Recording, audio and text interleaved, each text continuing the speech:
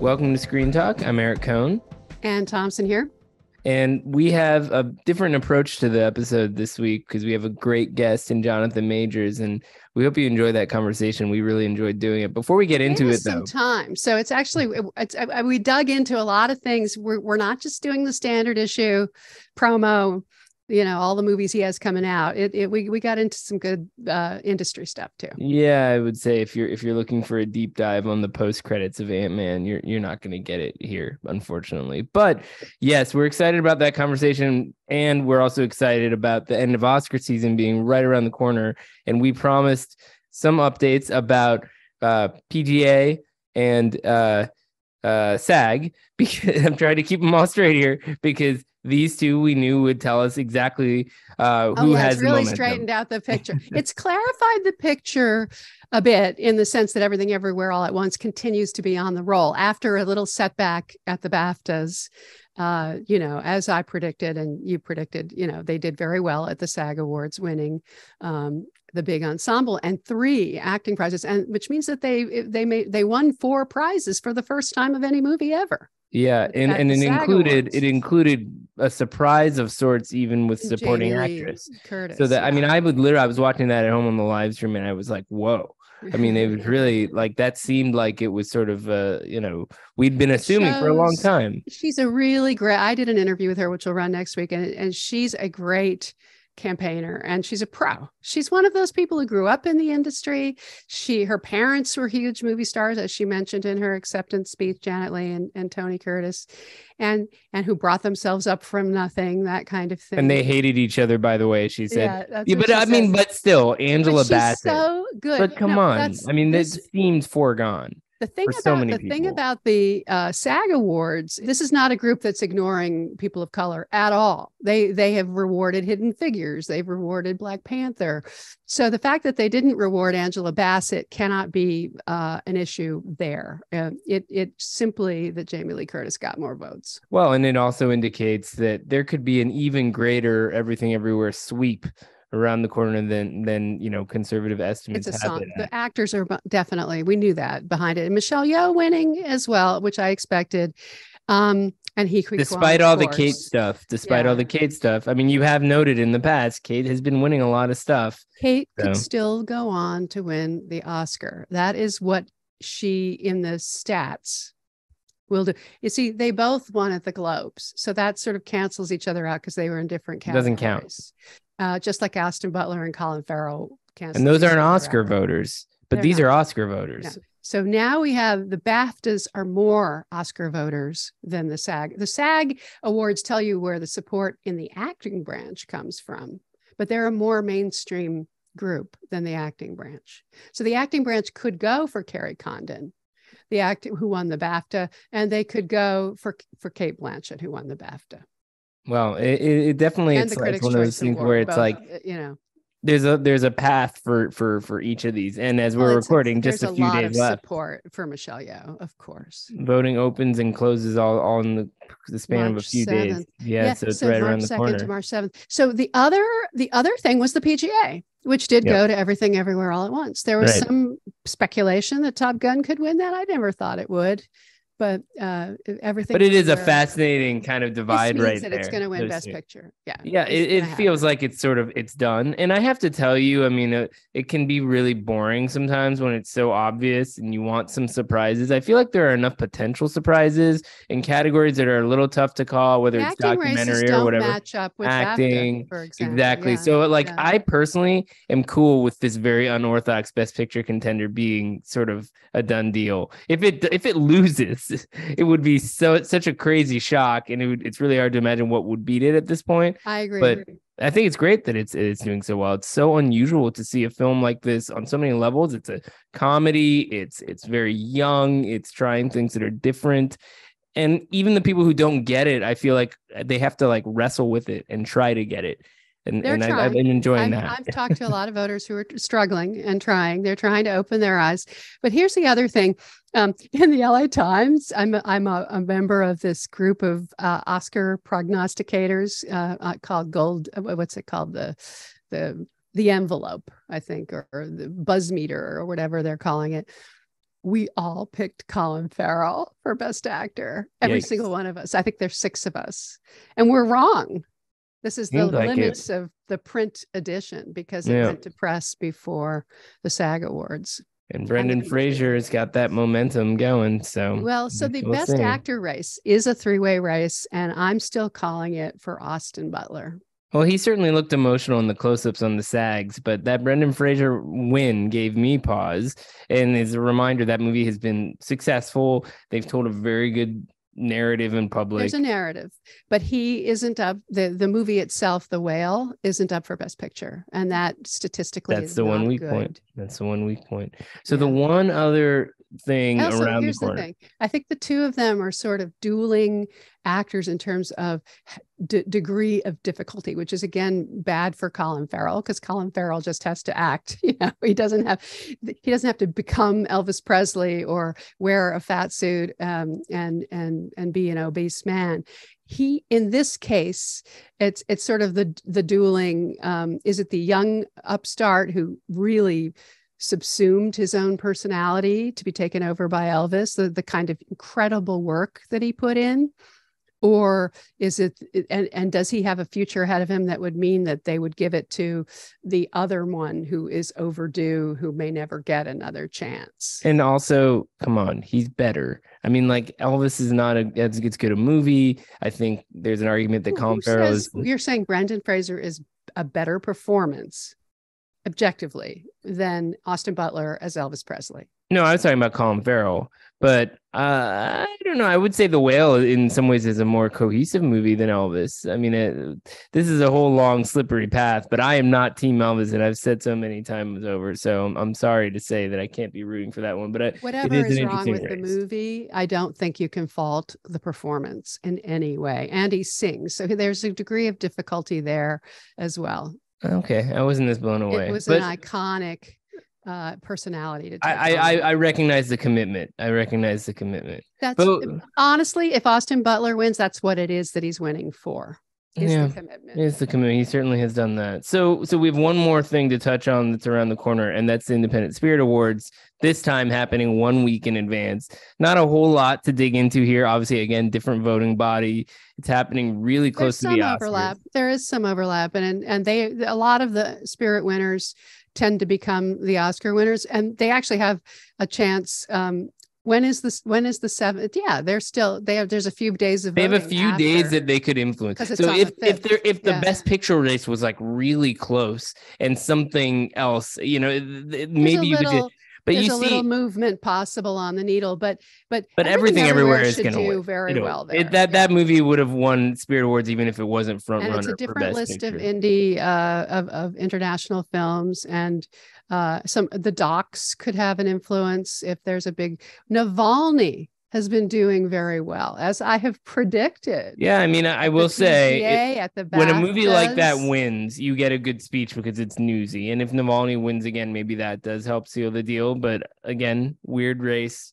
A lot, a lot of I have heard differing opinions about those. And then you also got to touch on Andrea Riseborough, which I think when we were looking at this beforehand, you pointed Yeah, out. no, she's on that list. She was nominated bef- legitimately was nominated. Yeah, before Spirit anyone was before really like, "What is this movie?" Got or- into a a, a campaign. Something could happen there too.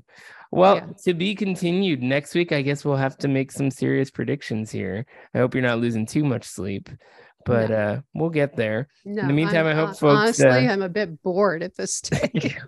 well, speaking of which, let's get into the Jonathan Majors That interview. was that was fun. It was fun. So All right. enjoy, and I'll see you next week. See you later.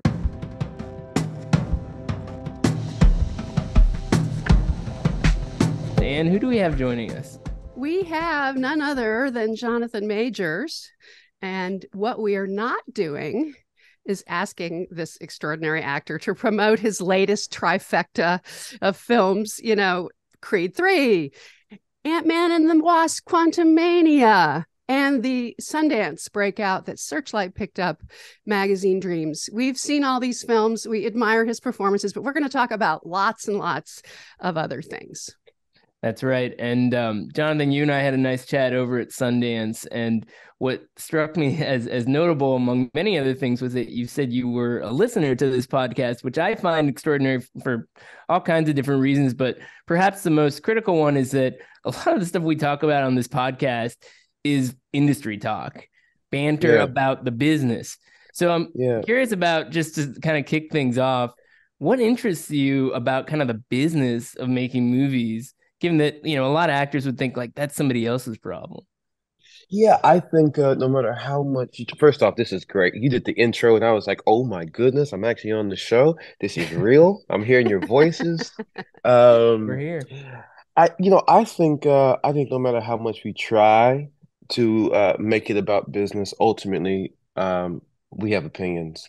And those opinions are connected to our perspective on art and on you know what's being put into the world world and so when I listen to you guys, it's you can always hear the opinion, you know, and um, I respect the opinion. You know, a critic or um, a garbage man or a barista, they have an opinion on art, uh, and there's a via a veil, I think, of oh, this is business chat. Yeah, but business chat is heart chat too. You know, I I, I never try to to differentiate. Uh, I think it's quite difficult to. I think it's uh, maybe perhaps um, just protective to say, oh, it's just business. It's not business. This is very personal. You know, the entertainment industry is a very personal um, industry, uh, like it or not. so I'm curious, what got you into acting? Um, uh, you oh, were wow. in high school. Something happened yeah. that sort of threw you into it.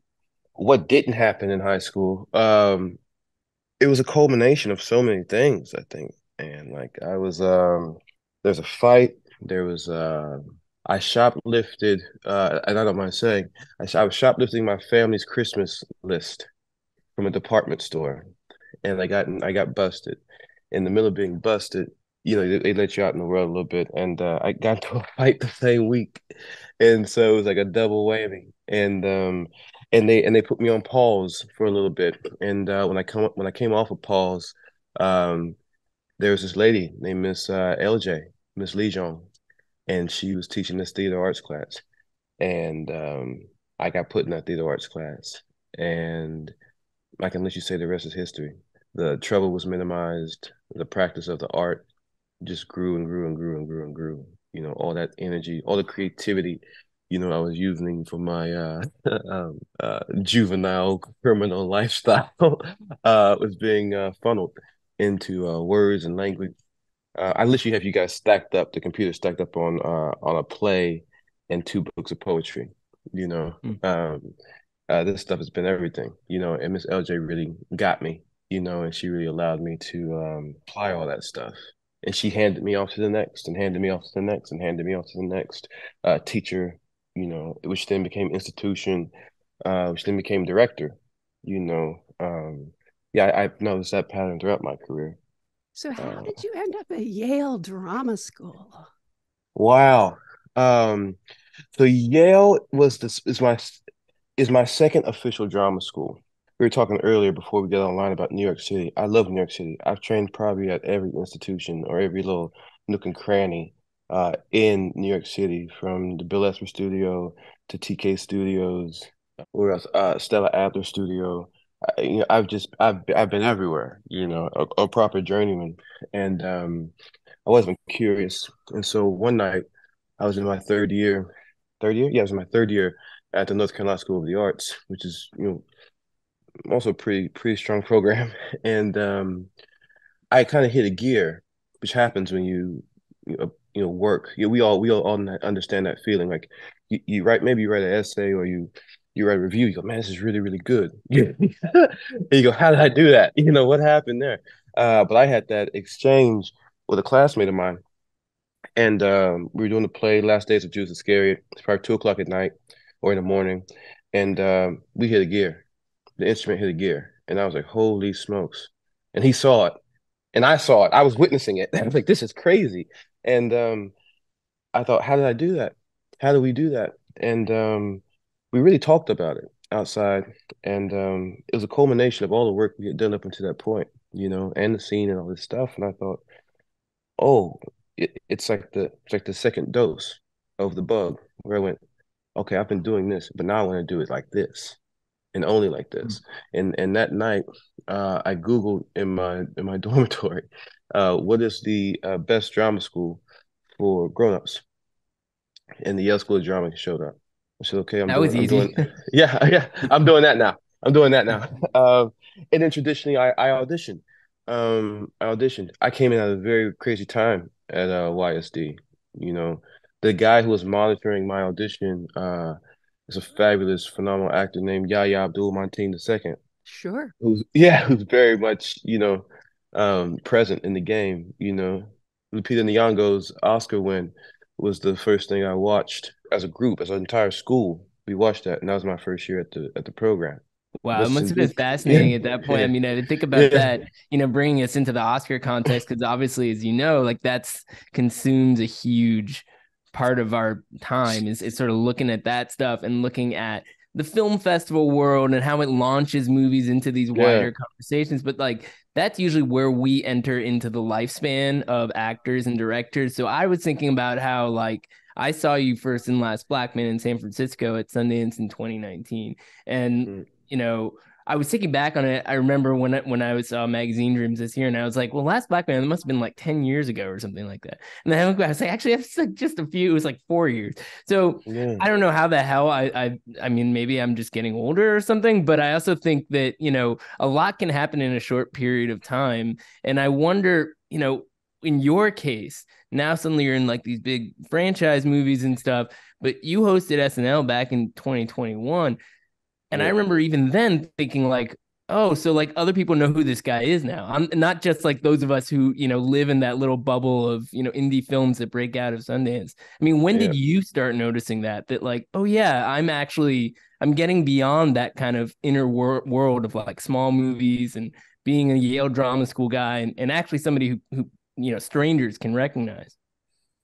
Oh wow. I mean, I don't know. I really don't know. I mean, I I I just have a, I have a really great team, you know, and um, I really believe in leadership, you know. And I I introduced you to uh, I brought them to you when we were at the party. I said, "You want this to happen? Here they come." You know what I mean? Like, yeah. Uh, I I said to say that um, I just worry about the art, you know, and I I I really drill and focus on the folks who I put around me, you know, so I don't have to worry about the other stuff. But I, I man, when they called me about SNL, my mind was blown. Like literally, I, very much like you, I thought, me, you know, like there, there's in my mind, there's nine guys ahead of me. You know what I mean? I try to be patient. You know, there's nine guys ahead of me.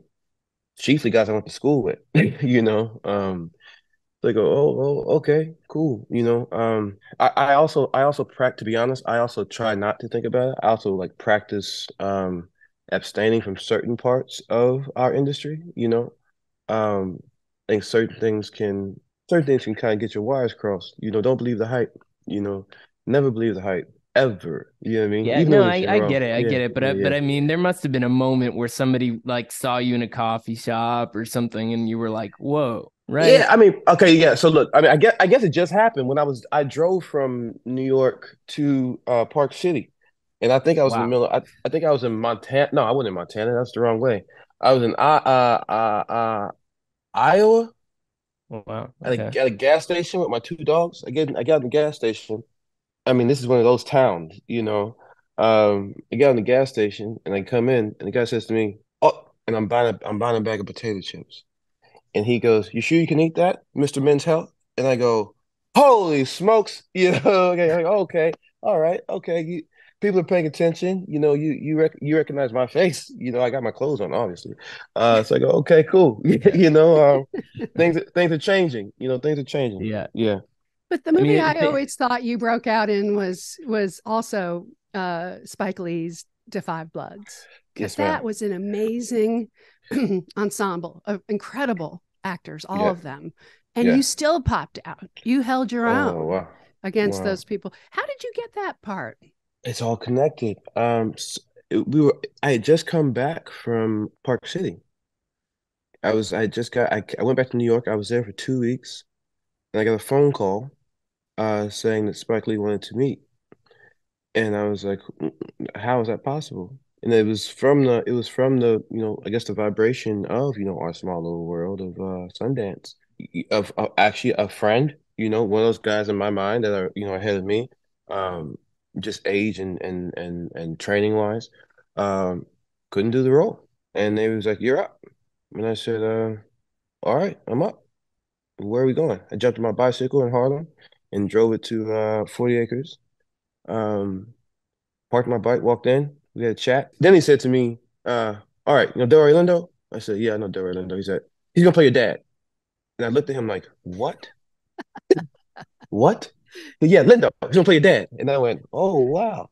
Uh, so it just happened, you know. I mean, I mean, it's I believe Constant Gardner. You know, I I just again, you know, it's not it's not a gimmick. You know, I just kind of just do my work, do my work, do my work, do my work, and you look up, and all of a sudden there's a Spike Lee tree that's asking you to be in a movie, mm. and you go, okay, cool. Um, but that came from the fact that um, uh, Kim Coleman uh, had casted me in um, Lovecraft Country, mm. right?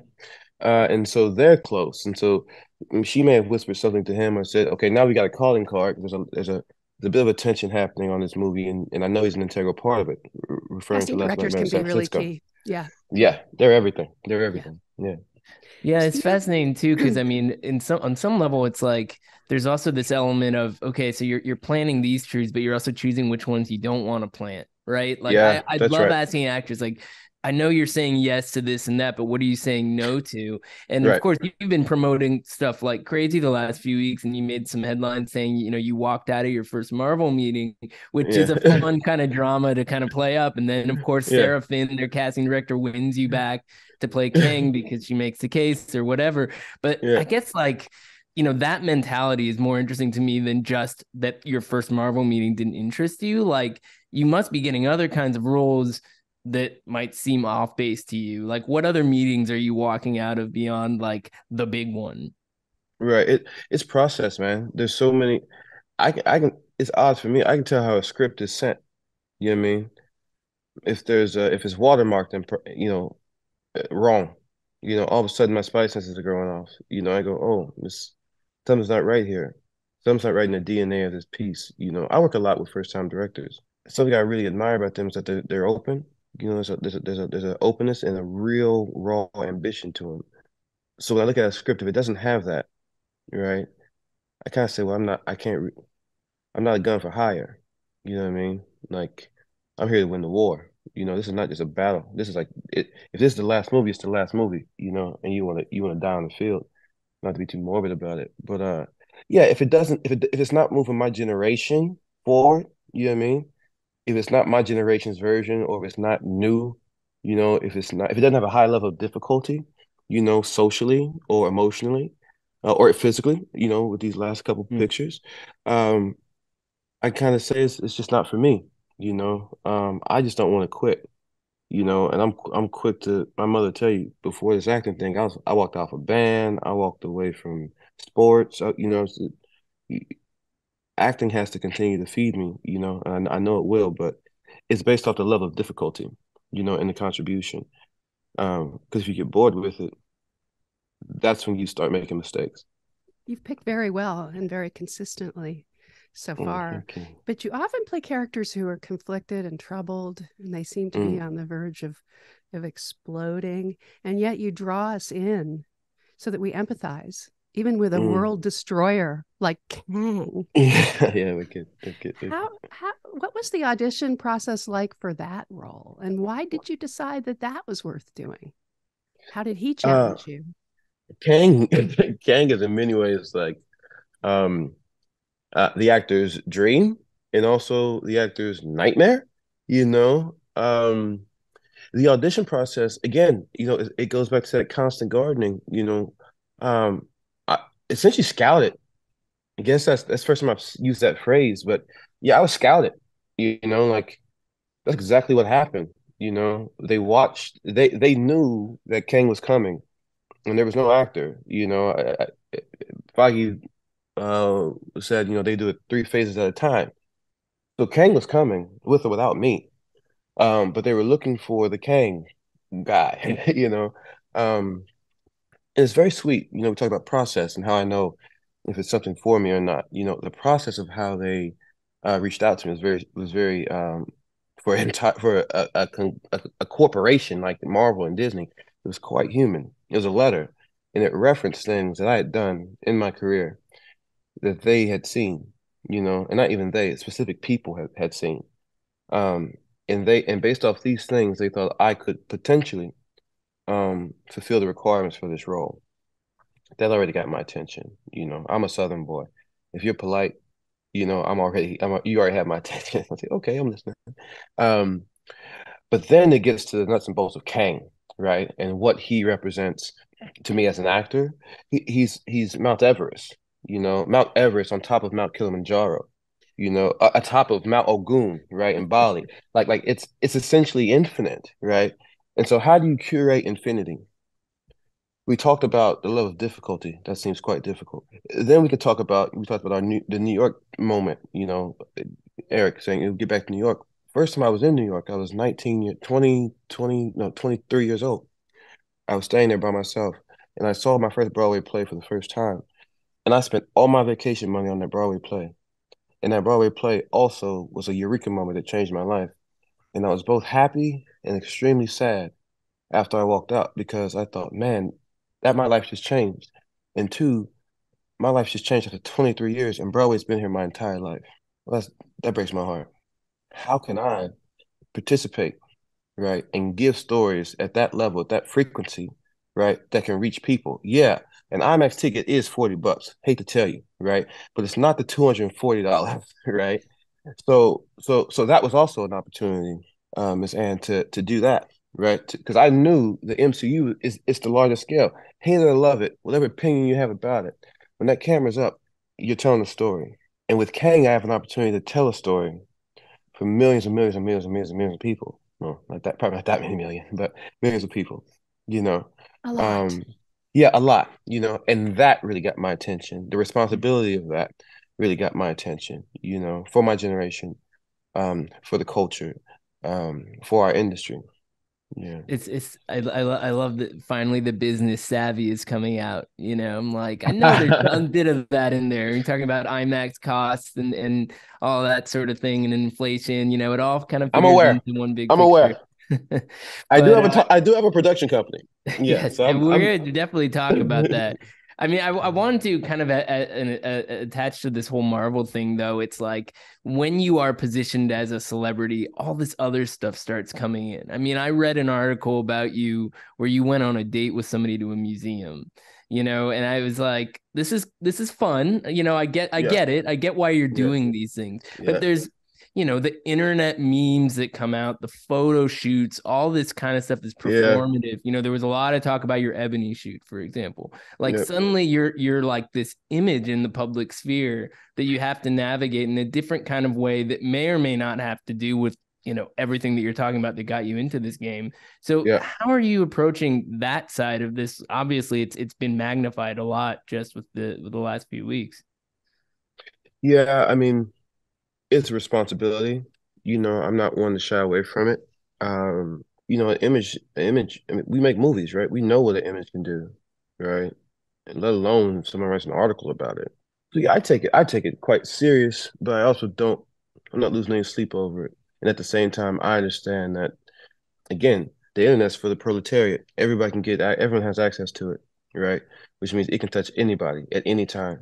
So you you we, we talk about the ebony cover. That started a bit of a ruckus, you know, and then there's a bit of controversy. That's fine. It's that's what art does, right? And I'm an artist, you know. I'm there to start the conversation, you know, to to present discourse. I'm sure there's going to be a um I'm sure there's a threshold, you know. Uh but humbly we just I just got here, you know I mean? And the threshold is I don't think I mean we're close to it, you know. And also, I'm looking forward to. I'm about to disappear in three months, in in in in in six weeks. I'm about to go shoot a movie. Everyone knows I'm out. Peace. You know what I mean? I'm gone. I'm gone. You know what I mean? So I I can do six. I it's like reps. I can do six more weeks. You know what I mean? I, I I actively keep myself away from you know the social media and all that stuff. Yeah. Uh, but yet there's also power. There's also power in the image. I represent a, a few things. You know, you, you can't you you got to take the crickets with the straights. You know what I mean? Like this is what happens when you do this at this level, and this is the this is the um this is the consequence of it. Sometimes they're good, and you like the good, and sometimes they're bad, and you don't like those, and sometimes sometimes you're just ambivalent about it. You know, sometimes they're in the middle, and that just comes with it. But I also believe that I'm in I'm in the service industry. That acting is a, is a part. Of, I just had a, a pre-interview for uh, some late night show, and they asked me, um, "What about um, know, do you ever feel like you need to take a break?" And I go, "Everybody in my family is blue collar. You know, we work nine to five. I, I don't know any job in the world where you do. Nobody nobody I know works four months out of the year and then hangs out for the rest of it. You know what I mean? I, that just sounds that sounds crazy to me. You know, um, so it's a job. I'm rambling now, but you, you feel what I'm saying, Eric? Yeah, yeah, yeah absolutely. Yeah. You so get you... to stir shit up and then vanish and make another movie, basically. Yeah, yeah, yeah, yeah, yeah, yeah. In a nutshell. Yeah. So so when did you start to lean into, you know, building up your musculature? You know, you did you always work out? What was there a specific role that you had to that forced you to really step it up? And now what's your relationship to to staying uh fit? Uh suit the word to the action and the action to the word, you know. Um I had two char- I had three characters kind of come up where the physicality was going to be slightly different from mine, you know. Um when I did devotion, when I did um this film, The Harder They Fall, it's the given circumstances. You know what I mean? That's what we talk about as actors. What are the given circumstances? I'll say this: there's some vanity in the actor, you know, that doesn't want to really succumb and really give in to certain parts of it. And sometimes that's the physicality, you know, because sometimes they're asking you to be unattractive, quote unquote, or sometimes they're asking you to, you know, shave your head and you're obsessed with your hair, etc. Um, but the roles I had, they just required it, and somehow these guys all came together. You know, in a film called Devotion, I was playing a, a pilot. In order to play a pilot, you've got to be quite slim to get in that plane. You know what mm. I mean? Hmm. My shoulders are what they are, and I'm I'm I was taller than a lot of the other guys, so I was cramped. So I had to cut my weight down. But then you look at pictures of the character I was playing, Jesse Brown, and I was like, oh yeah, one, he's four years younger than me. Men, do, Merrick, you know this. Men do what they do. We don't. We you can't hold weight until you get to a certain age. You know what I mean? Um, and so I'm cutting weight, you know, to fit, you know, literally to fit. Conversely, now I'm playing this bodybuilder. Now I'm playing this boxer, you know. Uh, um, um, now you're playing, you know, a formidable Avengers level threat. These are the given circumstances. You know, you got to do that. I grew up playing football, basketball. Mm-hmm. You know, genetically, I'm the runt in my family, even now you know, 200 mm. pounds. I'm still the smallest male in my family. So that's what happened. You know, I said, I got to play this role, you know, and you only get one shot. You only get one shot at it. You know, I'm playing, I'm playing a Marvel villain. I'm playing the quote unquote, the big bad. Oh no, I'm reading these comic books and I'm a feel. I remember telling them, take the muscles out the suit. I remember saying to them, take the muscles out the suit. I will fill it out. I, I guarantee it. I guarantee it. You know what I mean? I will fill it out. You know, there's no fake in the front. The this has always been an issue going back to the nipples on George Clooney's bat suit. You remember that? Yeah, like, yeah, yeah, yeah, yeah. You don't need those details. you don't need that. We don't need that. Uh, and and and now I maintain it. Just um, yeah, we got in it too. I ran to the gym here. You know, I showered, threw my cap on, came to meet you guys. Um, you know, health is a lifestyle. Stanislavski's troupe um, traditionally did yoga. You know, Grotowski is all about you know breath and movement Alexander technique. The body's an integral part of the acting process, you know. And I just have to eat a bit more than usual. You know, that's the maintenance. Yeah, we saw magazine dreams. We saw what you went through. It's funny because like man it looked painful I, to me. It did look it did. But i gotta say i mean i rambled about this last year. I trained for the new york city marathon last year and mm-hmm. uh, that was a new thing for me. And i thought i was hungry after these long runs and then i saw what you were consuming on this movie yeah. It's like yeah. wow that's like a whole other level. But it is always funny how it's like people that when you're an arty person, people don't assume you also have an athletic side. You obviously right. show it in public, but you know, not right. everyone does. Well, so, you're an action star now too, along with everything else. Added to the bucket. Yeah. yeah. So, so magazine dreams actually is is something we should touch on because now it's with Searchlight, and they have this great record of getting movies out there for awards, and we're like two and a half weeks away from the Oscars as we're talking now. So yeah. I'm curious how much you're so you sort of pay attention to all of that. Um, what you make about any of the nominees you you've been uh, following this year, and and kind of you know, I mean, obviously it would be nice to say that Magazine Dreams is is an Oscar contender. We need to see how the year goes, but uh, mm-hmm. you know, how any of that you know weighs on your mind? I had a few, things happen this year. That I thought, oh, you have my attention. You know, I was asked to join the academy two years ago. I, I really participate. You know, I, I, I really participate. I think that I Yeah. think So you watch everything. I, I I watch I I watch a lot. You know, I watch a lot. You know, if I'm voting on it, I watch it. I think that should be a, somewhat of a requirement. It's it's it's crazy, and we've got work to do. I was talking to a few cats, um, you know, just on the circuit. You know, as we travel. Spoiler alert: I am a young Black African American actor. You know what I mean? You know, I'm quite sensitive to the uh, political climate around, especially around institutions that I'm part of, be that North Carolina School of the Arts, Yale School of Drama, or um, the Academy. You know, I'm I'm very aware. Um, a few things that I really, really, really enjoyed seeing uh, this year were uh, Stephanie, Austin, Paul. Yeah, these these are members of my uh, Barry. These are members of my generation. Right, right, go, okay. It's a transition that happens when you look up and you realize the the the, the NBA stars are your age. You know, you go, wow, you know, or the president is your age. You know, we're not quite there yet. I'm not quite there yet. you know, um, but you go, okay, wow, okay, we are we are making some movement now. You know, I, this is the first time I saw that. You know, I thought, oh, it's cool, it's wicked. I mean, I love seeing Angela Bassett there. You know, Yalie, um, and also like one of the founding mothers of of my my route, my journey. You know, her name should be, you know, etched on the trailhead. You know, Absolutely. um, I'm happy about that. Um, and then of course there are things we need to work on. You well, know, how did you feel about the Andrea Riseborough nomination over Danielle Deadwyler and Viola Davis? Did did that was bother you? it's twofold, isn't it? Because um, one, I go, I'm always I'm always for the ruckus. I'm always, you know, if you cause some problems, I'm like, hey, okay, get it how you live.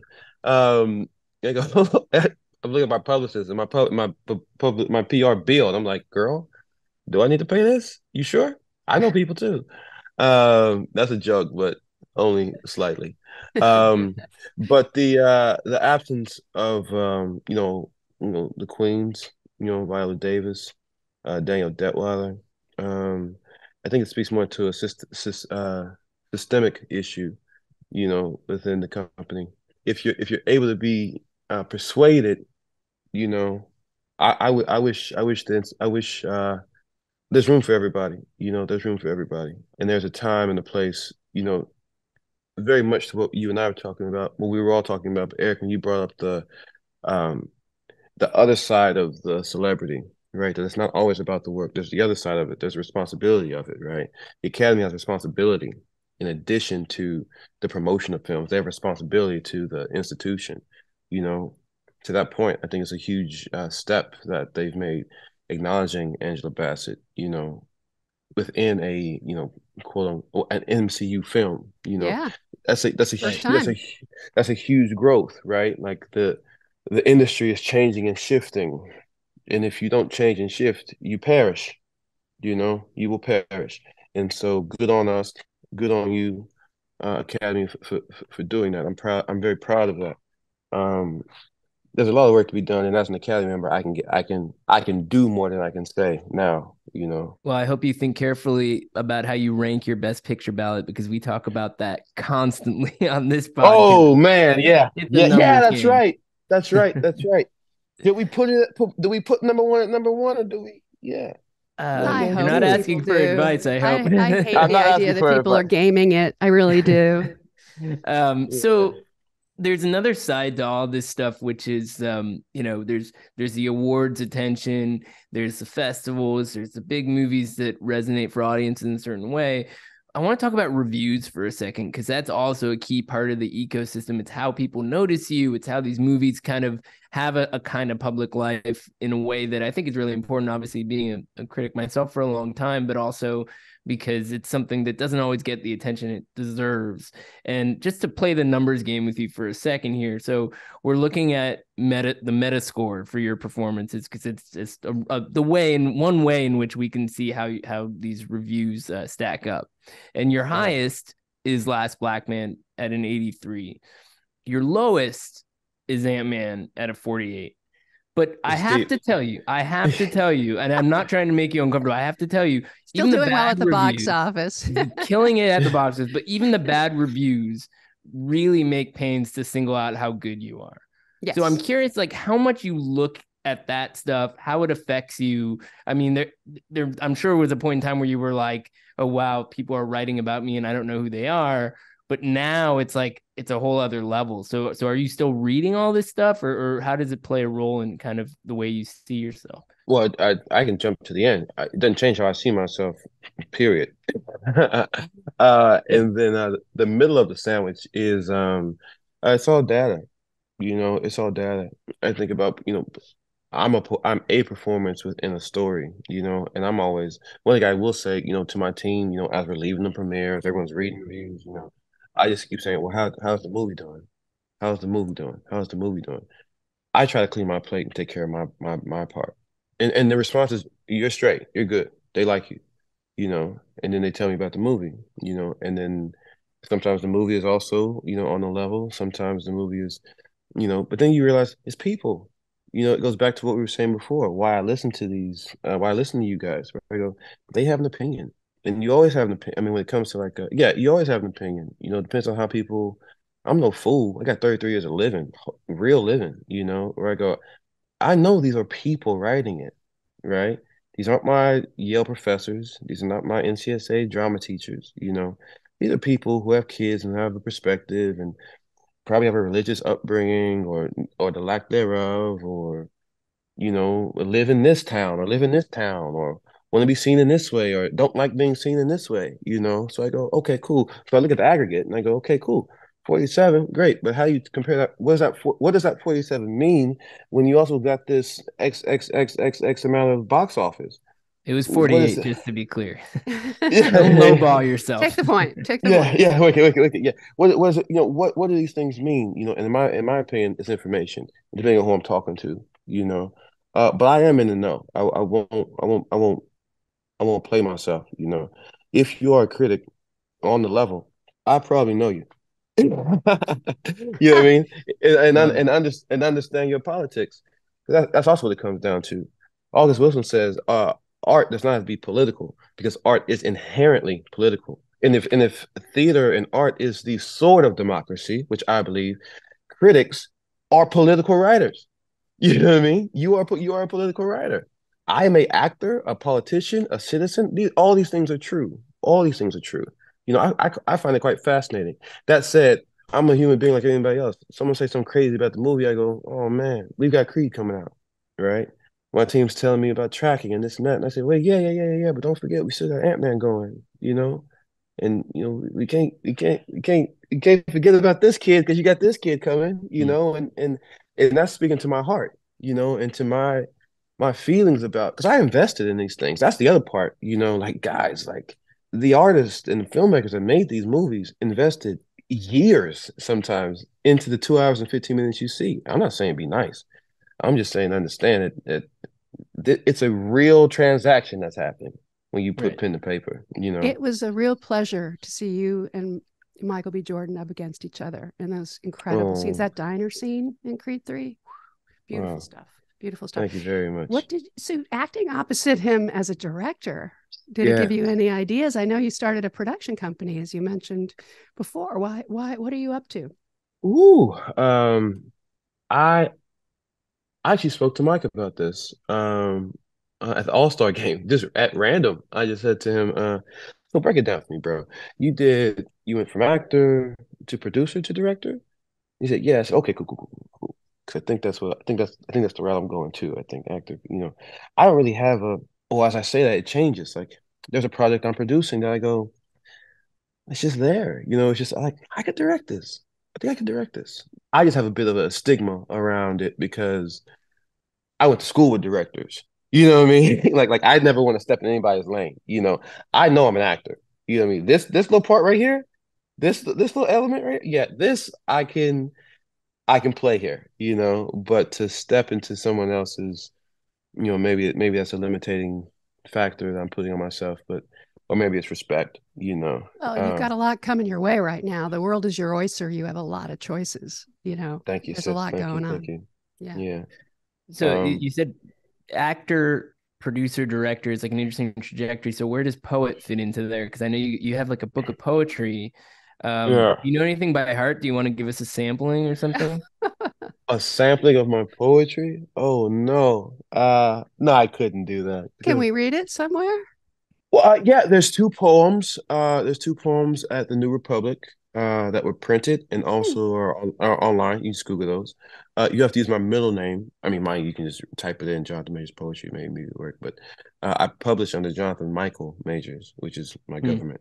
Um yeah, there's two poems there. One is called uh On an Aeroplane which I think we you all would really relate to as it's you know about that um that liminal space when you're on the plane and you're you're in the middle of nowhere and your your your whole tribe and community is this group of people on the plane.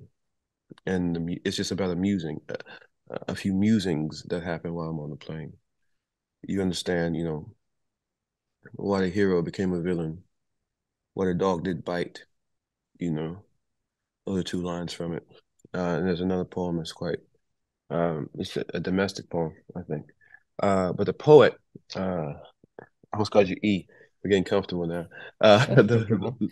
All three Uh, members of my household are E's. We're the triple E household, so, so we all call each other E. Wicked. Well, E, uh, the poetry ha- ha- has kind of always been around, you know, since I was a, a kid, you know, um, but in earnest probably since about, you know, 17. Nothing happens in isolation. You know, around 17 is when things really got uh went haywire. And when you're expelled from school so many times, or suspended from school so many times, or in isolation so many times, you you begin to write or draw or, or whatever. And I, I began to write. Yeah. I love that. So on top of that, just get back into the movie side of things. When you were, you know, in those formative years watching things, were there were there artists on the film side who really got you excited, who are maybe still working today, like directors that you would really kill to work for now that you actually could tell your agents like, hey, get me a meeting with these three people or whatever? Yeah, well, I don't work for anybody, uh, but I would like to work with many of them. yeah, I mean, there's actors, and and that dream just keeps coming true every time I, yeah, me and Willem Dafoe are about to go do a film. You know, I'm like, holy smokes, what's that gonna be like? You know, Wow. how am I how am I keep my powder dry there? You know, it's Willem Dafoe, the Willem Dafoe, uh, which is very exciting. Always welcoming Spike, you know, to jump back in it together. Um, uh, Spielberg, you know, Spielberg is someone that I've always uh, admired. You know, he's one of the directors that raised me. You know what I mean? Without with uh, uh, us, you know what I mean? Uh, Paul, all the Andersons, Paul Thomas Anderson, Wes Anderson, uh, Barry Jenkins. You know, I think to be photographed, that's the way it feels to me. To be photographed by Barry Jenkins would be, you know, incredible. As to not minimize those, I'll I'll Yeah. stop there. Yeah, Good short list. yeah. Well, thank you so much for doing this. Oh Jonathan. wow, this is so it was exciting. fun. I hope it was fun for you. I, I, I really got. I feel like I got to know you better. That's the thing Yeah. that I'm really happy about. We covered a lot, but it didn't feel like we were covering a lot from where we're sitting. Yeah. So, Yeah. Um, and uh, and John, you're you're welcome back anytime if you have a big idea you want to share with the with either us or the industry that might be tuning in. So uh, you know, I'll hold you to that. I'll hold you guys to that. And we made it happen, Eric. We made it happen. And we said we were gonna do it, and uh we made it we made it happen.